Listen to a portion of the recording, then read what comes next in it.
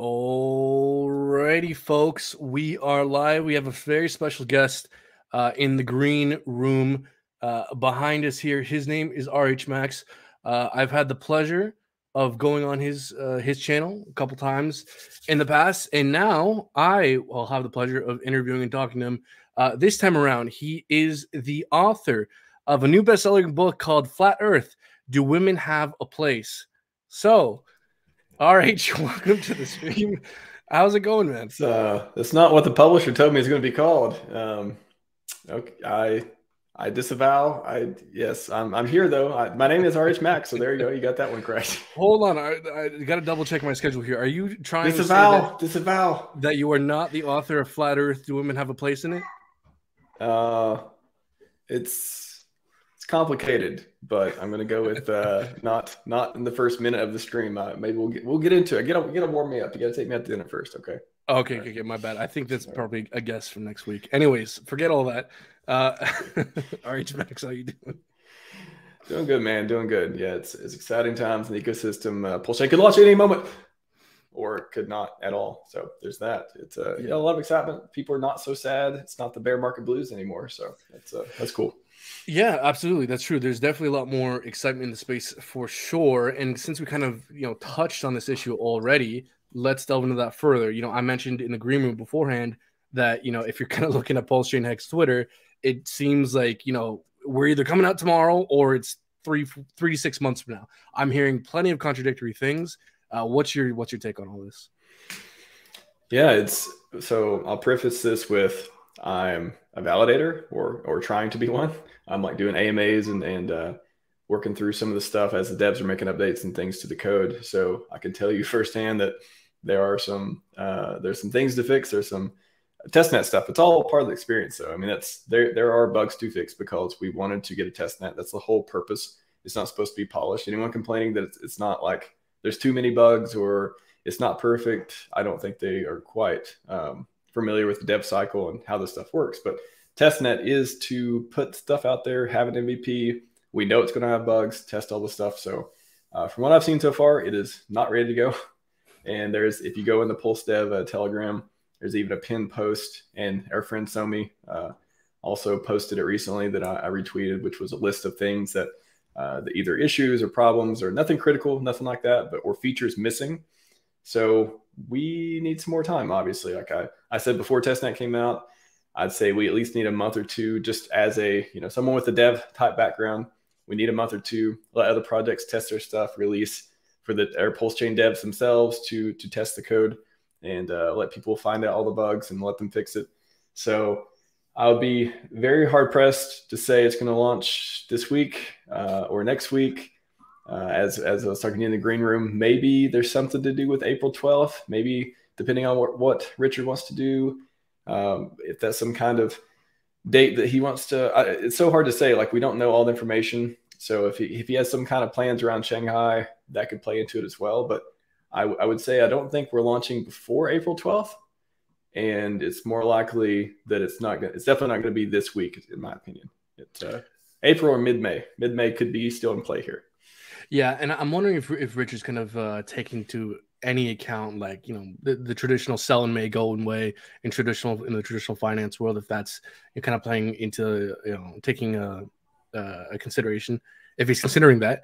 Uh, i saw a dev on i think it was a, a, show with kg eh, who was trying to make it very very clear that rh is not timing the market. I get a feeling that the internal dev team is kind of frustrated by that narrative uh, of uh, of you know richard kind of trying to time the market so who knows we'll see what we have seen as of late, and I'm sure you've seen this, but just to kind of share your thoughts. So Richard recently sent out t- uh, a, t- a tweet uh, on the uh, account that I'm not blocked on, saying uh, team team doing projection today is looking at increasing the base reward factor by a thousand x uh, for being a pulse chain validator. How do you feel about that recent piece of news?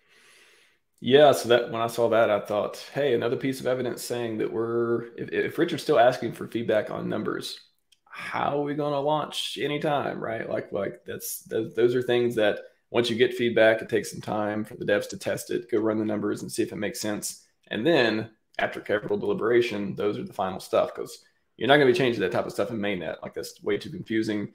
People are going to be be building websites and stuff around it. So all these all these parameters need to be finalized by the time we go to mainnet. So that's one part. Um, and then the second part is yeah, it was just the APY and stuff was, you know, I had heard numbers before. It's going to be a fraction of a percent, could be 2%, could be larger. And I went into it, uh, you know, I having uh, played with the Ethereum testnet validators in preparation for Pulse Chain to get ready for the, to do stuff on Air Testnet and mainnet eventually. I had uh, went into it knowing that probably wouldn't be much money in it. I just wanted to kind of do a community service. I'm intellectually curious about this stuff because you know I love technology have a dev background, uh, all those things. So it just kind of plays into. Act. there can only benefit from spending time on this. Like not a lot of people know about it. I can help the community provide you know AMAs, documentation, scripts, and stuff that I plan uh, to work on. So it was just for me. It was just it was not about the money part and, and making the APY. Anyways, I really don't care what it was. It was just about hey, is this opportunity to help the community? So increasing it and all that. It sounds like with you know a certain number of validators. I believe it was 40k it would get us up to uh, 3% APY. I believe those numbers he shared. Yep. And less if there's more validators and more if there's not. So um, I think on testnet now we have like 4K validators or so. But also heard that some of those are maybe left over from V2B. Maybe they're not working right now. They haven't switched over. They're kind of like, or it's just the devs themselves who are running all the validators. Not a lot of uh, other people testing stuff out yet. So those numbers may not be super accurate. So we may be in the hundreds or you know small thousands of actual individual users in the community running them. But uh, I'd like to see what happens on mainnet. I'd like to see you know uh, that how that works. That could be an opportunity. You could get a lot bigger APY if you're one of the first set of validators for for a while. But uh, if Pulse Chain explodes like I think it will, and like we all hope it will, then that that APY may may be going down and down and down because more people getting involved. Right. Yeah. And, and even a small APY and something that's growing tremendously is uh, highly valuable. Now, yeah, I know the, pri- the, price counts into it too. So yeah, it's if it's it goes if Pulse Chain goes to a penny, we're gonna have a lot of validators. Yeah, like people see two percent, three percent, but it's two percent in what? It's two percent in one of uh, the the best assets in all of crypto. So you know what I mean? Like it, it, a lot of the time, you know, when people either look at different DeFi things and liquidity providing things, and they see three hundred percent. Well, there's a reason why that's 300%. 300% number one in what? And what's the risk for getting that 300%. So yeah. the the the reward in what matters tremendously for sure. Now, exactly. Um, you said something very exciting in the green room, uh, which I want to get into as to you had some thoughts as to kind of what we're seeing uh, with uh, with kind of uh, pulse chain uh, updates to kind of get a more realistic timeline of things, and I, and I really want to delve into that. But before we do, I think it mm-hmm. might be helpful uh, since I get the chance to now talk to you, kind of interview you, ask. Sure. Uh, I want to get to know you a little bit more, and I, I find this kind of question particularly interesting as a YouTuber content creator myself. Um, what drives you to make content? Because you spend a lot of time doing this shit. I, I, know, man, like how much time this takes, all the editing, the uh, the research involved. You know, you feeling like you got to keep up all the time. What what drives you to make a channel? What drives you to keep doing this? Yeah, it's uh, it's a good question. It's I think it just came from so I've been following Richard for six years plus or minus, and I've been pretty passive in the community until about a year or so ago. And I think I just I always think when people ask me this question, I always think of okay, was there a moment or was there a time or something I can reflect back on that kind of pushed me over the edge to get into content creation, to get into being even active on Twitter in the community and even talking to people because before I just I was watching live streams, I wasn't really even talking to the community or anything. And I always go back to this, you know, this memory of him talking about on stream, like people asking, "Hey, how can we help? What can we do? What you know, what should we do in the community? What's going to help us grow?" And he always, uh, one of his answers he always gave was, "Be have utility, like be useful, do something that matters, like makes impact that helps something grow." And that is definitely something, you know, being a person who, I, you know, I like projects. I like taking something an ideal and turning it into real life. I like, you know, doing taking it, pushing it to the highest extreme, doing excellent work. I'm someone who likes to do that kind of thing with any project I work on. And for me, this is just another project: streaming, uh, helping the community, doing the dev stuff, uh, providing information, analyzing situations, and, and, based on my different skills, you know, security background. I do a lot of security AMAs, uh, more more so these days now. It's just a project for me to provide utility, provide value, and uh, help the community where I can. So it's it's just one of those things. I like doing it because I know that uh, people out there appreciate it. I know that I'm making an impact, and uh, yeah, like I said, if you're going to be in the community and you want to see us grow, if you're if you really want to have an impact, you got to go do something. Whatever your skills are, whatever you're interested in, like make a positive impact. And it's not just arguing on Twitter or retweeting drama and all that stuff. Like like creating content, for example, as you mentioned, uh, you know, doing streams, clipping, thumbnails, all that stuff. I didn't know how to do any of that when I first started, but I was like, hey, you know, here's what I'm going to do. Here's my project. I know it's going to take time to get good at it. I'm just going to keep going towards it until I feel like, you know, I'm at a good flow state. And then maybe I'll slow down a little bit. That still hasn't happened yet. I feel like I'm streaming every day, sometimes twice a day. Um, but I think it's uh, I think it's been helpful. I get a lot of good feedback from the community as well. So value. It's like a, it's not you know I, I have a I try to have a unique brand. Like I don't monetize. I don't want your money. I want to make my own money. I just want to you know help everyone else win as well. I uh, you know I don't I don't think a lot of people put out as many clips. You know every day I have like different clips from different interviews coming out uh, or streams and AMAs. I'm doing like uh, Richard Throwback Thursdays for two years. I have vintage and notable RH clips scheduled to come out and all that stuff. So I try to just, you know, whatever unique value I can bring, I try to bring that and try to build my brand around that. And, you know, eventually you want to be somebody that people can trust. You know, when you say something, it means something. And I think that's a reward in and of itself, too, to have the respect of the community and uh, just be able to make a positive difference. So for me, like I, have said it before, you know, if I ever disappear one day, I go buy an island, whatever, uh, everything goes to the moon. At least uh, everyone, I hope everyone will be like, yeah, you know what, that's cool. He, he, was a good guy. He, he contributed enough. He did enough. He can do whatever he wants now. Uh, but it's, uh, yeah, that, I think that's what motivates me. That's awesome, man. Yeah, it's really cool to hear. Um, you know, to kind of build on top of like some of what we touched on here, you know, you mentioned it seems like you had kind of quite a history even before crypto in terms of you said you like you did uh, security stuff, dev mm-hmm. kind of stuff. If, if, this is this is something I'm uh, very much interested in, what I'm about to ask because it I, I think not only does it relate to crypto specifically, but personal development in general. Uh, and if, if you see smoke, my house is not on fire; it's a candle. Anyways, candles very appropriate. Yeah, absolutely. It's just cold where, but um, no. So, so what I'm trying to get to is I want you to perhaps take a moment to look back on number one, this is the success you've had in crypto, but also just personally, personal development wise, career wise. If you had to give advice as to how you have found that success, both in investing or, or maybe if you want to take the investment front or personal development front, in careers, just uh, in your personal life, when it comes to investing, you know, if you had to kind of like uh, give advice to a, you know, your nephew or something, what, how, how, how would you go about doing that? Well, there's a lot of different, a lot of your angles and, and ways to get into on that. Uh, as, as someone who's been, I've been on like a wealth, uh, wisdom, happiness journey for the last few years as well, trying to soak up a lot of knowledge from Richard, uh, Naval Ravikant, um, Alex Hormozi, a lot of different wise people in the world that uh, provide their own you know, value in different angles. Um, but as far as you know, I actually made a tweet today that's pretty relevant, I think. Um, and it, it, was basically talking about, I, was trying to think of how, how do I better explain it? Because I, you know, I talk to friends and family about, you know, this stuff sometimes. And I'm always, I never want to make any guarantees. I never want to make any promises, but you know, of course, in deep down in my heart, I know this is, I, I know I have the winning plays. I know this community is the best real products, you know, it, it can get you rich, make the right decisions. You got to hold and all that stuff. And I was thinking of how to explain how to explain to people how to get them out of that, how to get past that no coiner mentality of it's just a gambling thing. You're just gonna lose your money. You're just rolling the dice. That's not a real investment.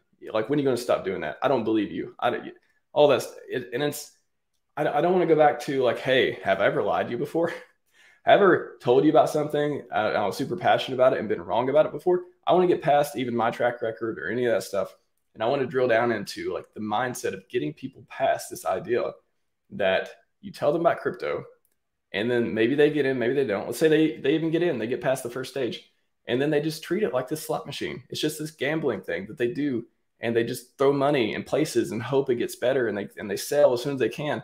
get out of that? How do you get them out of that mentality?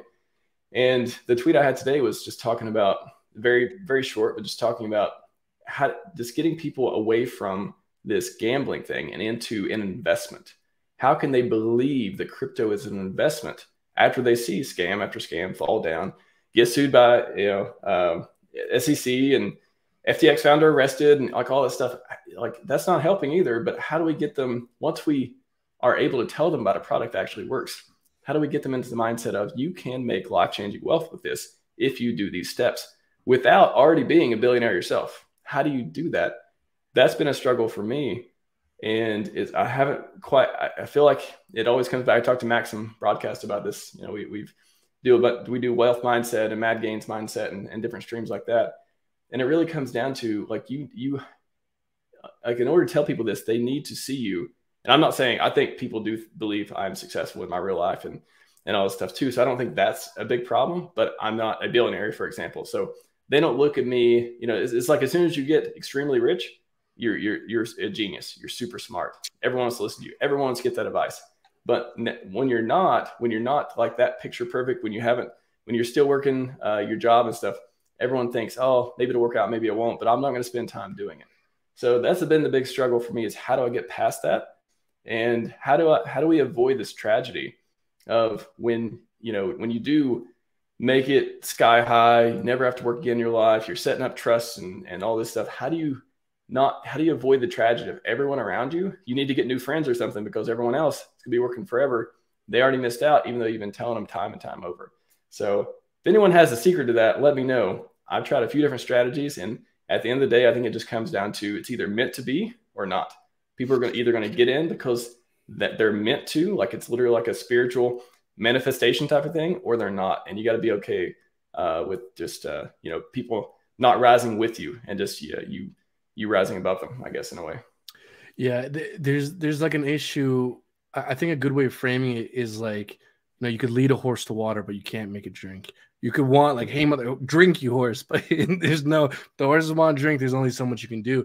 I it's, think it's a tragedy because I really want, and again, I've, I've said this before. Like, I want to help people. I want to like yeah. I want to I want all the boats to rise with it, but how do you how do you get them there? How do you make that water so attractive and so trustworthy and them to know it tastes so good that they go there and they stay there? How do you do that without, you know, showing them somebody drinking that water and turning into uh, you know, uh, a dragon or something, I know, something amazing happening from it. I was gonna say, I, I think one way because I, I feel the same as you do that we can kind of cope with this issue is is I think framing it in this way that our kind of content I think attracts the horses that are willing to drink the water. So even though in our personal lives we may be having you know we may be leading these horses to water and they may not be drinking, which is unfortunate, but in doing the content we do, it's like we're filtering, we're selecting for those horses that are willing to drink the water in the first place, kind of thing, right?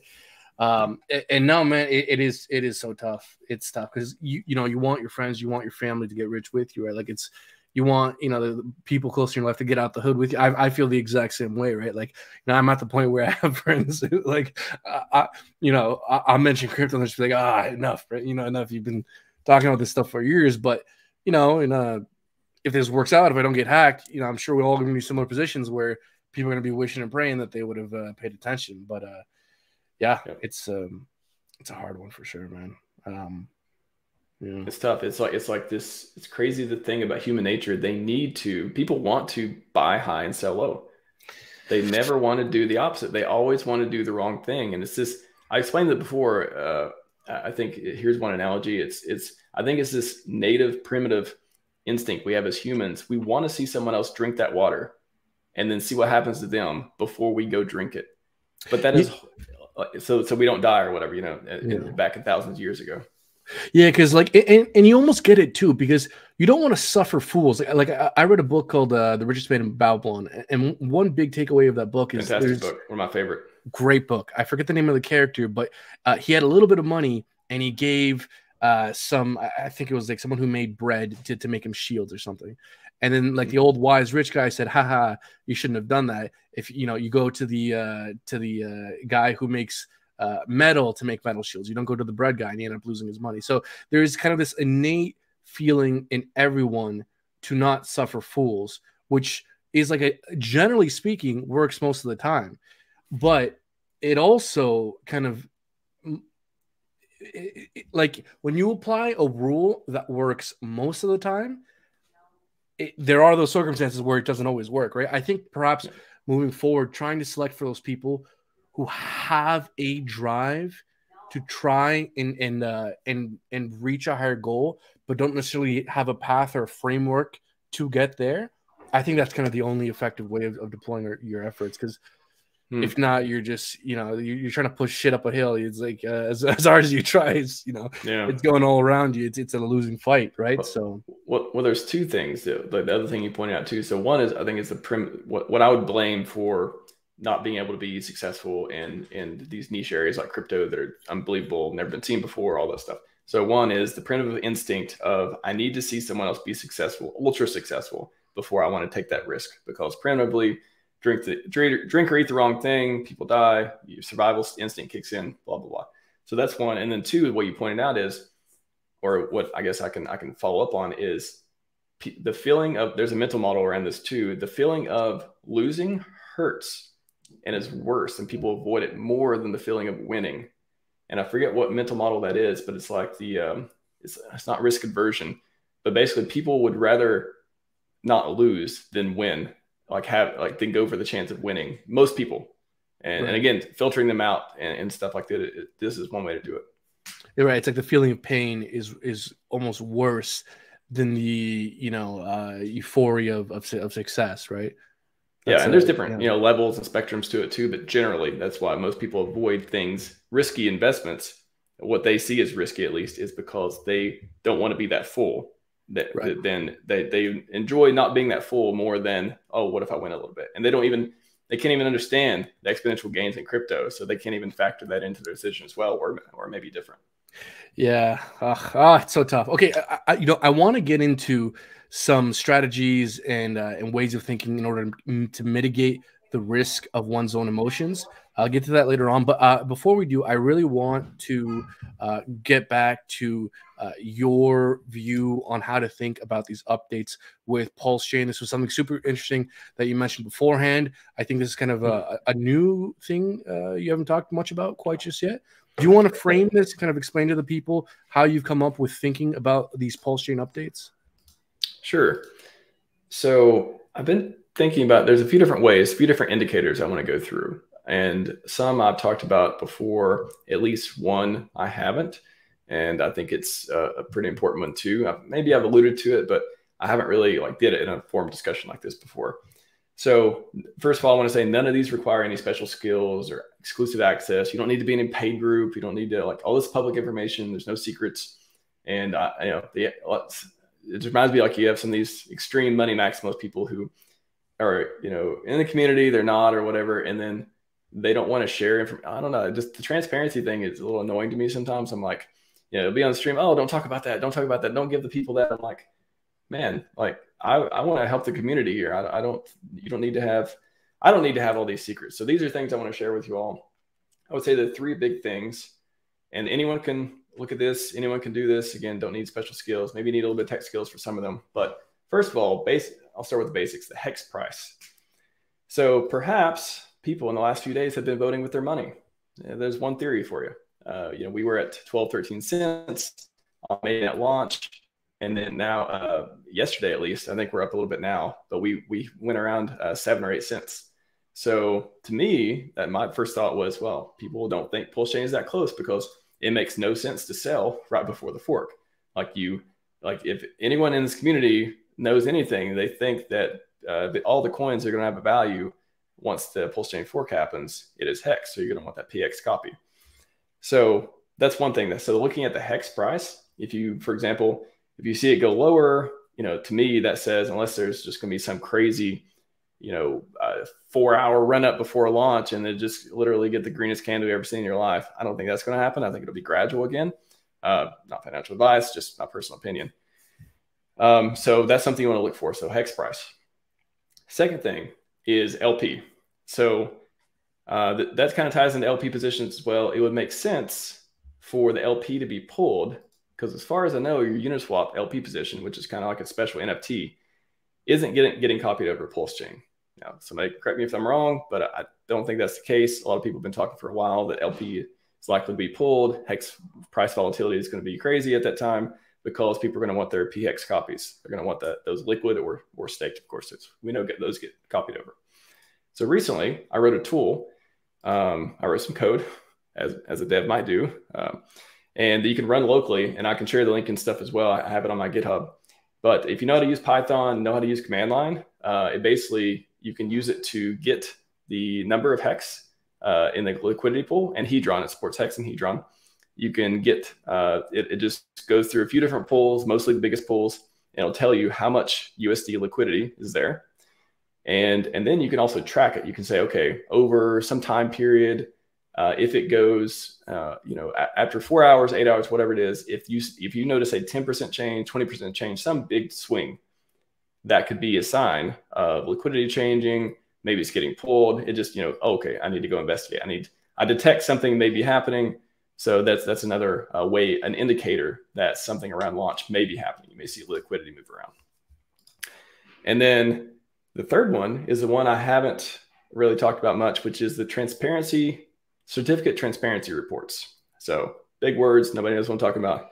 Uh, it basically it reminded me around uh, around the testnet launch, we saw some people talking about DNS, some different domains coming online, and I that reminded me like, oh wow, that's that would be an easy thing to write or easy thing to check would be like if we could if we could look at the different certificates being published because all this public information you know you can look at the transparency reports you can look at certificates for different domains being published when people register them or, or create certificates all that.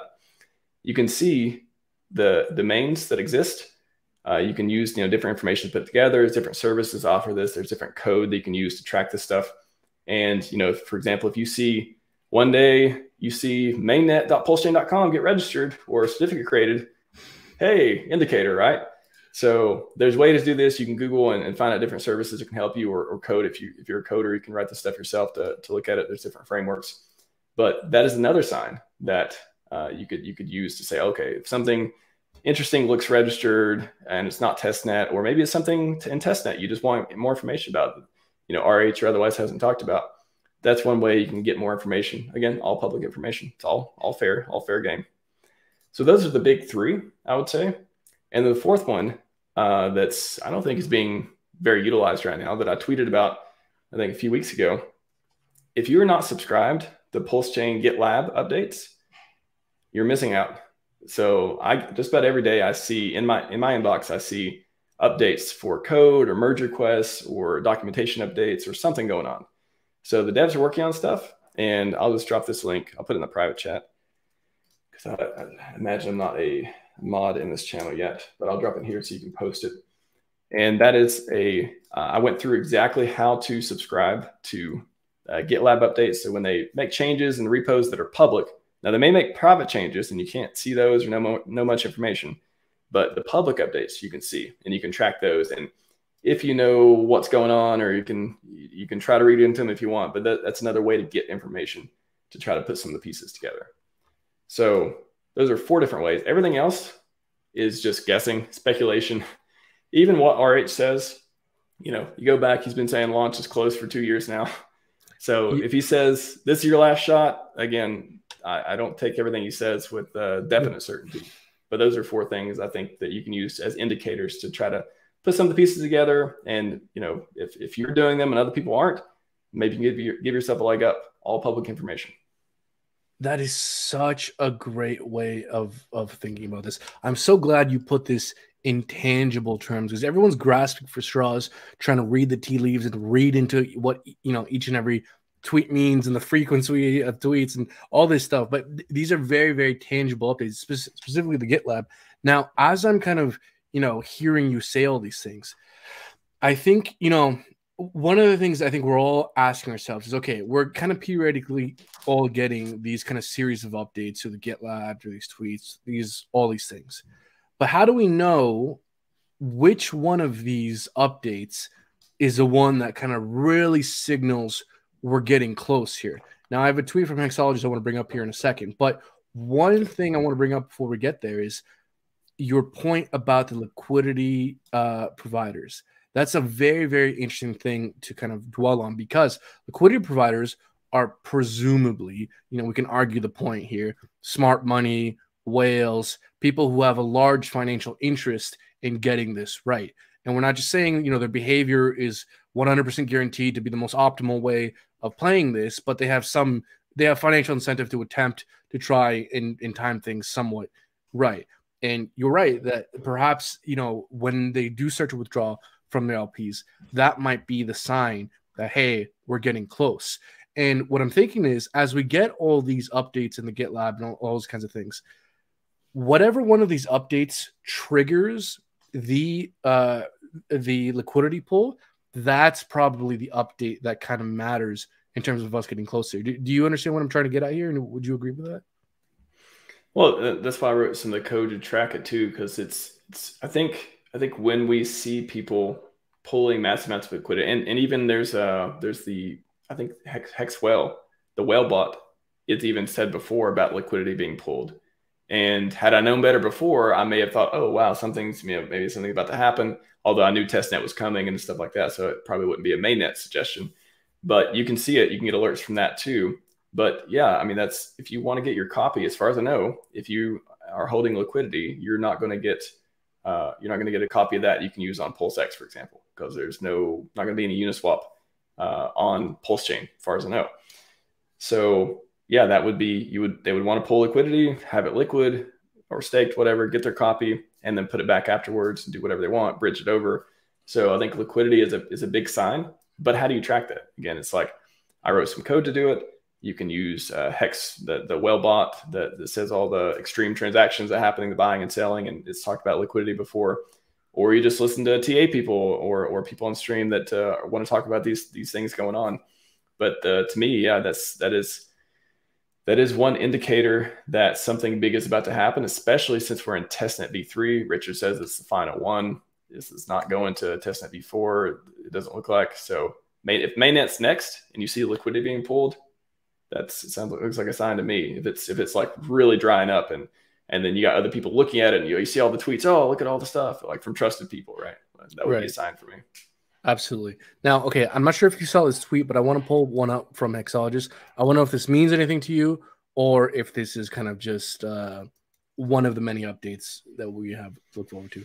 So, Hexologist was tweeting, you know, we're seeing some kind of uh, updates here, but specifically, kind of the main takeaway is prepare for stable release. Now, I saw someone uh, kind of Google what this means, or they asked uh, ChatGPT, uh, and basically, here it is.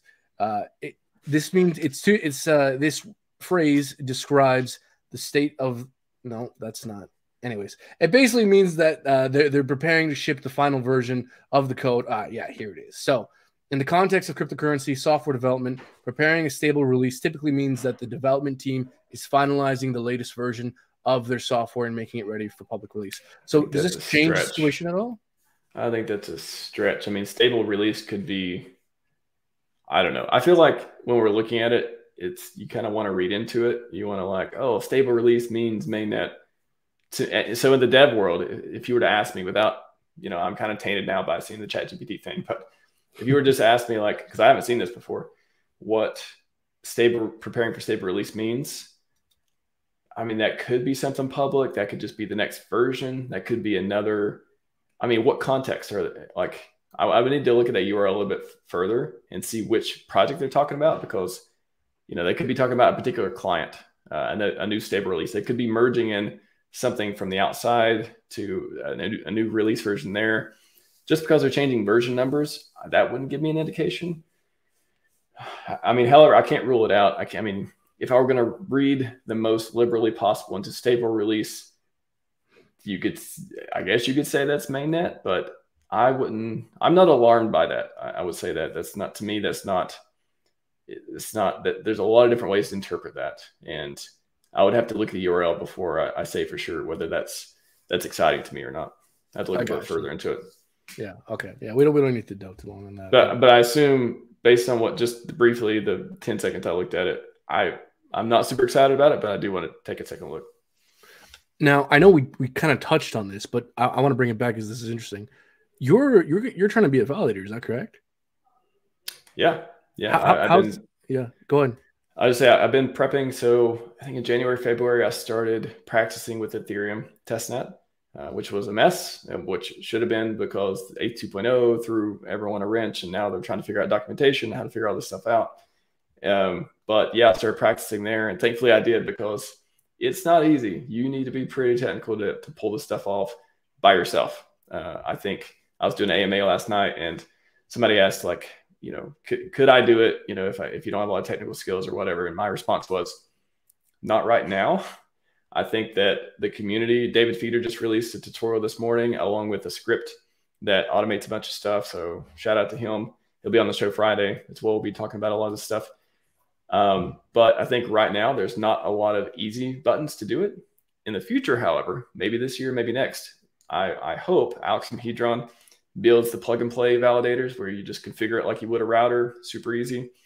I hope that uh, the community, maybe myself, will be contributing some scripts or blogs, tutorials on, on how to make this process a lot easier.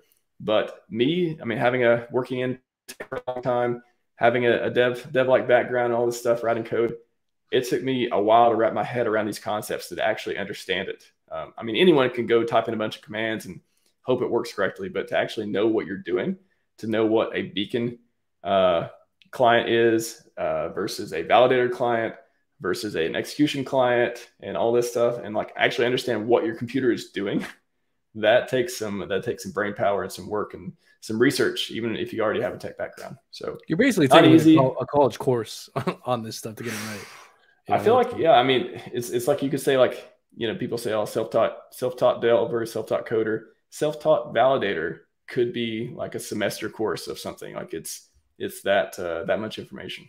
Yeah, absolutely. And not like a one on one. It'd be like a you know like two two hundred class, three hundred class, that type of thing. yeah. Um. Okay. I wanted to ask you point blank. Do you have a hex next cycle all time high price prediction? What is it? Set it in stone. We want one hundred percent guarantees. I uh, hate to disappoint you, but I, I try my best to avoid prize predictions because I don't like to be wrong. Yeah. And I don't believe anyone knows. However, uh, I love them when you give them on my show. I, I do love that. But yeah, I just, um, I, I always, my, my answer is, is usually uh, look at what it did in the past. Look how much, how many more people we have now. Look at what's being built around it. Look at what's being already built on top of it. Look at what depends on it. Look at the billion dollars in it. And then you decide whether it's going to go up or down. I, I think that's the, the way I look at it. It's an unsatisfactory answer, but a smart one because I, I because I totally agree with you. Giving like these fixed arbitrary price, it's total just pulling something out of your ass. It's just for fun. I, I think personally, timing analysis and, and looking out for signs of market weakness is a far more tangible. Uh, uh you know, getting it, it's a it's a way of trying to get closer from complete randomness. Right? It's not like a perfect way of doing things, but at, at, least it's not like completely random and pulled out of your ass. It's somewhere on the, on the spectrum, right? Yeah. So yeah, I agree. I, I just want to say real quick, I just noticed your whole background deal is like all the failed stuff. and uh, I, I, first thought it was like BlockFi. Is he sponsored by BlockFi? And I saw SafeMoon. I'm like, wait a minute. And I see Carlos Matos. I'm like, hold on a second. And I look up and I see Luna and Solana and all this stuff. I'm like, all right, this is definitely a joke. It's very cool. Very I gotta cool. update this too, by the way. This is this is like from way back when. I gotta put FTX here. I gotta put uh, uh there's there's this, there's a couple. There's more failures. Yes. Oh yeah. put on here. Amazing. Yeah, so, uh, yeah, I'm sure over the years this will be quite a uh, collage we on here. yeah, yeah. So well, the I, I'm hoping. I'm hoping there. I'm hoping uh, there won't be too many more this year. Hopefully, we got it all in the way because uh, you know, in my mind, that would be like bottom, right? No more failures is, is hopefully we bottomed or no more big failures because every time we seem like every time we hit a failure, there's like another chance for regulation, another chance for people to sell, another chance. So I'm hoping FTX, BlockFi, whatever, those were the big ones. And uh, we can just we can just go right off in the sunset in our in our moon bags, but uh, who knows? Yeah. Speaking of these failures, in an attempt to avoid you know either being or, or, falling in the same trap as these guys i wanted to ask you because i know you like to talk about security a lot if you had to give a two minute elevator pitch to kind of uh, you know a, a novice crypto investor as to what are the best practices in terms of security crypto security you know, two, you know, two, three minute elevator pitch, how would you do that? Yeah, easy. Um, I, I, think that I'm, I'm not going to talk about hardware wallets because this answer everyone gives, and you should already know. If you're in crypto, you should know about hardware wallets in some shape or form. If you don't, obviously that's that's a, like a big part of it. Keeping your wallet safe. It's like putting 2FA on your wallet. Think about it like that. They're great. Um, so besides that, use a Mac. If you're running Windows, it's like you're driving down the bad neighborhood and you're like, you know, you're the sketchy neighborhood. like, oh, all the viruses are like the people that may jump you and all that stuff.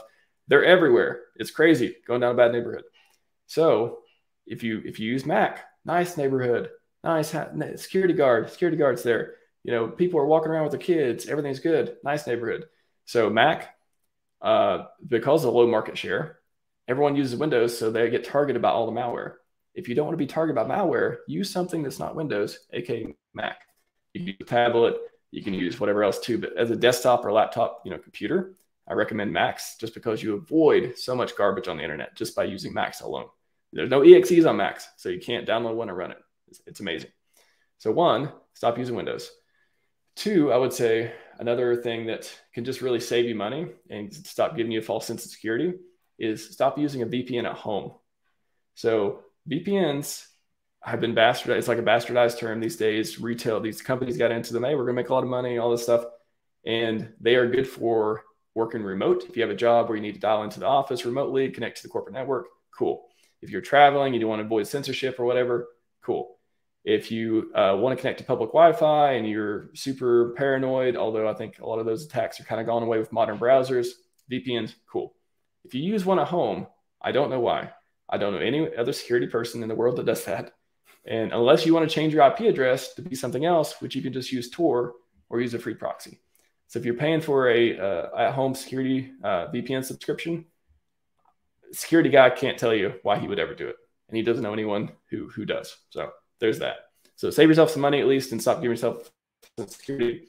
If you change your IP address, use Tor. Easy. Uh, and then how to actually keep your uh, computer up to date. And again, change your IP address more for privacy. In my opinion, nobody gets hacked with IP addresses these days. They get hacked by out-of-date browsers, clicking on EXEs, phishing, all that type of stuff. Maybe you know, get you you torrent, you download torrent that you don't think is yours, and it does all this stuff. So I wouldn't worry about your IP address as much as keeping your browser up to date. Super boring, but the best advice ever because browsers are people get you click on a link, they get you download malware either through clicking through a bunch of boxes or exploiting a bug in your browser. So those three things is the best advice I can give, other than the hardware wallet. Obviously, use a Mac instead of Windows. Don't waste your money on VPN at home. Only use it if you need censorship resistance, uh, traveling, or actually doing remote work. And keep your browser up to date. Don't worry about your IP address as much. Browser uh, malware is is the bigger thing than that. I see. So, so I think it was main... like four minutes, but I think that was concise. no, no, that was great. Uh, the main takeaway I got from that is that you're sponsored by Apple. That's all I heard. you know, they make great products. It just they makes do. sense for this partnership to happen. Yeah, absolutely. yeah. Um, okay, so I want to take the opportunity to ask a bit of a selfish question here because sure. I recently, uh, I don't know, a little while ago, made a video talking about how I sold my car in order to do this kind of uh, 10K uh, challenge where I want to put, I want to DCA 10K into Pulse, uh, kind of uh, show my uh, not not like the the wall, but I'm, I want to talk about it publicly. My my uh, my price targets, all that kind of stuff. What advice would you give to me? Not financial advice, but um, you know, could you share your thoughts as to what could be an optimal uh, strategy? Even generalize it. Even we can make it even more general, like pre-bridge, post-bridge. If you were someone in my situation and you had to give uh, not financial advice, advice. You're really you... framing this well. um, hmm. I think what what I could say would be useful here. So your situation is you you sold everything and and, and put 10k into Pulse. Is that so? So I'll be doing a, a 10k. Uh, so I'm just doing like a hundred x challenge, right? Trying to turn 10k into one million dollars. Um, I'm gonna oh. not follow anything you say, but this is what I'm trying to do. And if you were in my position, yeah, how would you DCA? Would you do it, you know, first day over the first week, first quarter? Like, how would you deploy 10k, or or if you're just trying to do a 100x challenge into Pulse Chain? So 10k once Pulse Chain launches. Is that correct? Exactly. Yeah. Yeah. Interesting. Yeah. Would you market by day one? Would you dollar cost average? Like, what are your thoughts in that regard? Mm, again, not financial advice in any way, shape, or form. Just thinking out loud what I would do if I was going to put 10K post pulse chain launch. I think you have a few options. I think, I mean, it's kind of sucks you missed the sack phase and all that. Um, but there's, you know, if there's a big dump, there's the opportunity. Uh, we don't know if it's going below sack price or not. However, historically, a lot of a lot of new projects dump. So I would be looking for opportunities, the DC opportunities on the dump, assuming it happens. It, it may not happen. This time could be different, but uh, based on historical stuff, there could be a dump at some point uh, after launch. So that could be a chance to pick up some Pulse and Pulse X. And then on the Hex side, yeah, because that would be the three coins I would be targeting to stock up on. Um, I mean, there's some other good ones in the ecosystem, but on the Hex side, it's hard to say what, what happens after Pulse launch. I mean, I guess an obvious one you could say that if Hex runs up, people buying it uh, into to, to get their copies on the fork, you could say, okay, afterwards, both hexes should should dump. I imagine. Like, I mean, again, that's not me saying it's going to happen, but I could see both hexes dumping after launch just because they were bought up so much before launch, and now you get the copy, and a lot of people are just not going to value the copy. They're just not. No matter how good you tell them hexes and pulse chain, they're just not going to value an airdrop. It's an airdrop. It's just that mental thing of getting it for free. They don't value it.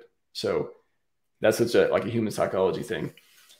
So I would be looking out for yeah, basically DCA opportunities if once once and if there is a dump of the, the blue chips, Hex, Pulse Chain, and Pulse X. That would be the the most I don't know uh, the most obvious thing that I would think about during that time. And hey, if I have dry powder on the side, um, yeah, I don't think that's the the worst idea at least. But I don't think about it. I, you know, I, I, think about when I think about different plans around that.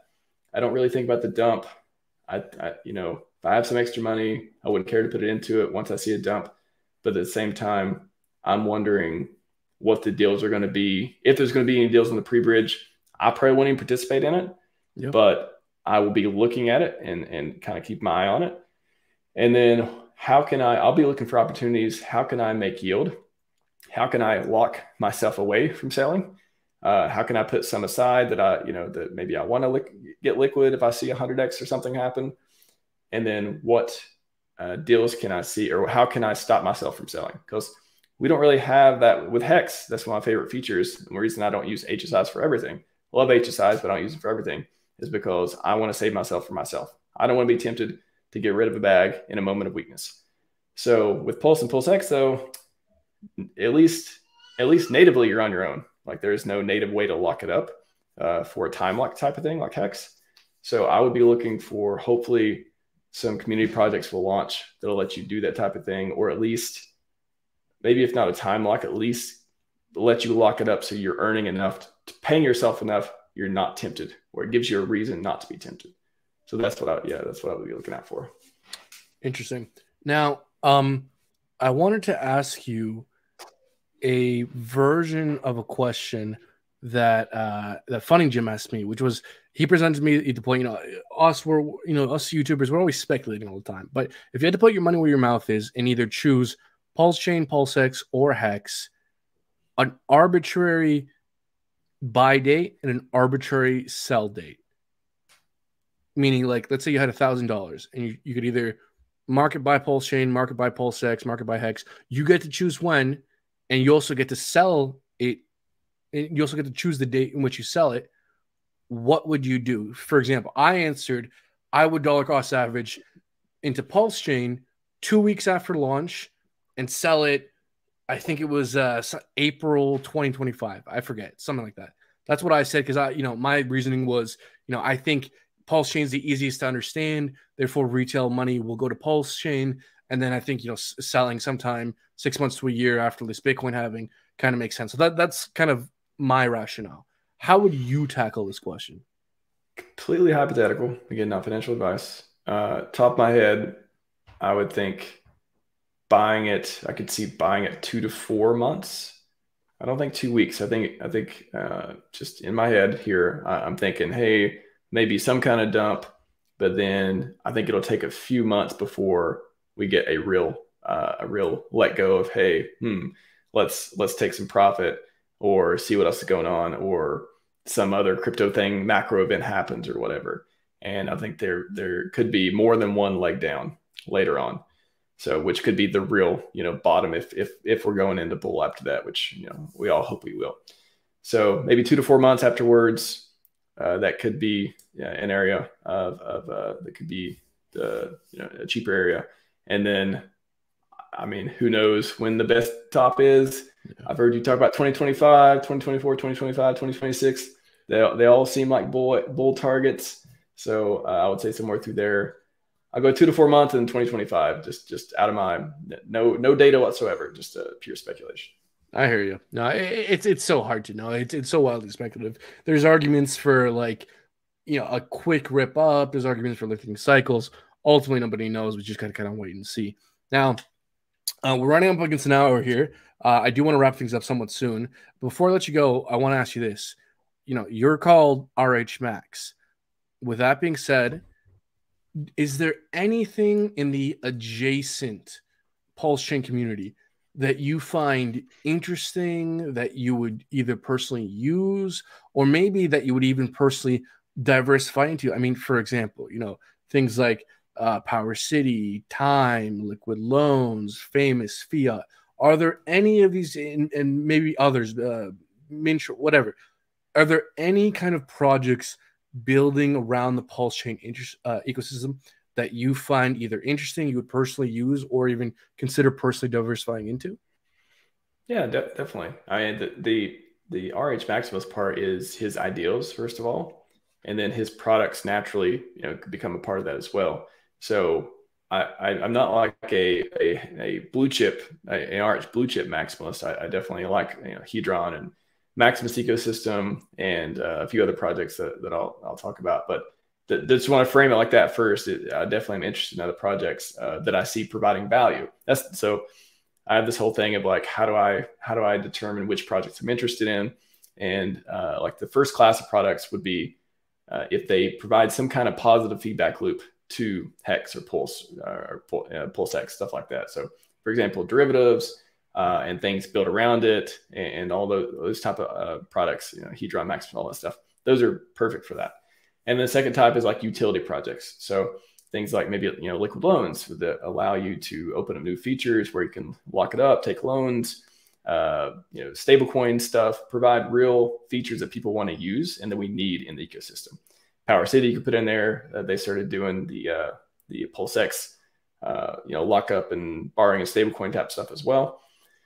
And then everything else is kind of like either meme coins or unknown, like you know, 0xCoast are building a fiat on ramp everyone's bullish about that. We definitely need more information. Hopefully that that works out. Their weight product, we don't know what it's going to be used for, but there's there's like some um, you know that that could if what if it ties into fiat on ramps? I have no idea.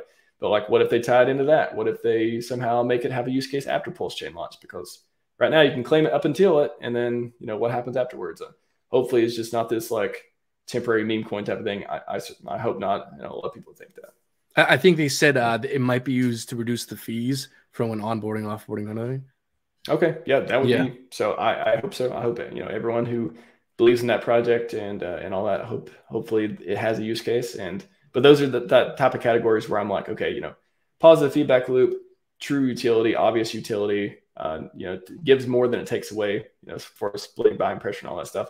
And third category is like either meme coins or unknown wait and see, uh, or just like a, a moonshot, like, hey, this could bring a lot of people in for onboarding, but we really don't know yet.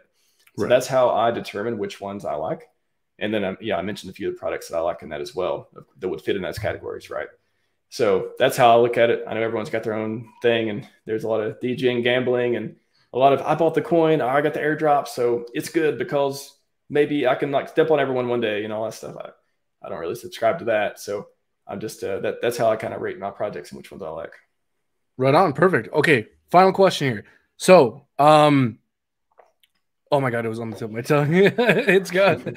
uh, no, what was I gonna say here? Is there anything we haven't touched upon yet that you think is uh is is worth mentioning here? I mean, you know, we're all excited about you know Pulse Chain, uh, you know, coming here, all this news.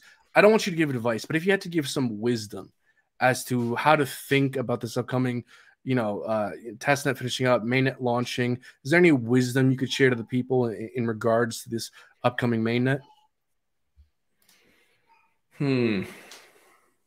I think everyone just needs to decide what they're here for. That's something that is very important to me. I, I, I pride myself on being mission driven. And I pigeonhole myself into RH Maximus because I don't want to look outside the ecosystem. I know this is the best one. It's did a lot uh, for me and my family so far. Got a long way to go. And I think it really gives people a fair shot at crypto and DeFi, something that's missing out there as we see everything fall, fall around us. So I think being mission driven and uh, you know, I like I like the way Maxim says it is like don't lie to yourself. Like if what whatever you're doing, you know, what, whatever kind of hopium you're in, try to be grounded in some kind of reality and know that your actions, um, you know, you put, put out positivity, you put out negative stuff, you do the drama on Twitter, you're going to get negative back. You, I believe you get out what you put in.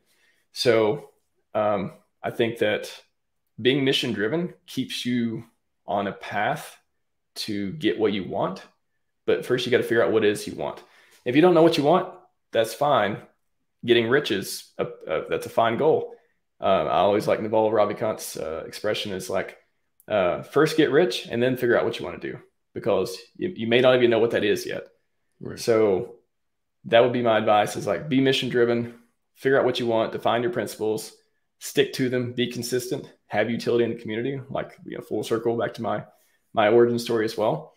And uh, again, don't lie to yourself about what you want because if you start doing that, you're was that Charlie uh, Charlie Munger, Warren Buffett, like uh, you're you're the easiest person to fool, you know all that stuff too. So figure out what you want, and if you don't know what you want, just try to do a lot of good stuff and try to stick to your principles until you get there. You get to whatever goal you have, and then you'll have the time, resources, and energy to to really explore what it is you want to get out of this life because we only got one. So uh, I don't plan on, on being boring or stuck or a wage slave, and uh, I think we can all do great things if we're if we're mission driven. Hell yeah, man. That's a great way to wrap things up. I don't think I can top that. So everyone, like and subscribe, share the stream. I put RH's info down in the description below. Everyone go give him a follow. Uh, number one, thank you so much for being on the show, man. I, I think this was pretty interesting. And thank you all for watching. And uh, if you don't have any final words, then I guess we can wrap up here. Yeah, just just smash all the buttons. Uh, glad you got uh, the new channel going. Uh, best of luck on that, and thanks for and thanks for having me, and, and thanks for the good questions. Like you, I tell you prepared you asked good questions and uh, tried to answer the best of my best of my consciousness. Absolutely. Appreciate it. All right, y'all. Sure. Take care. Yeah.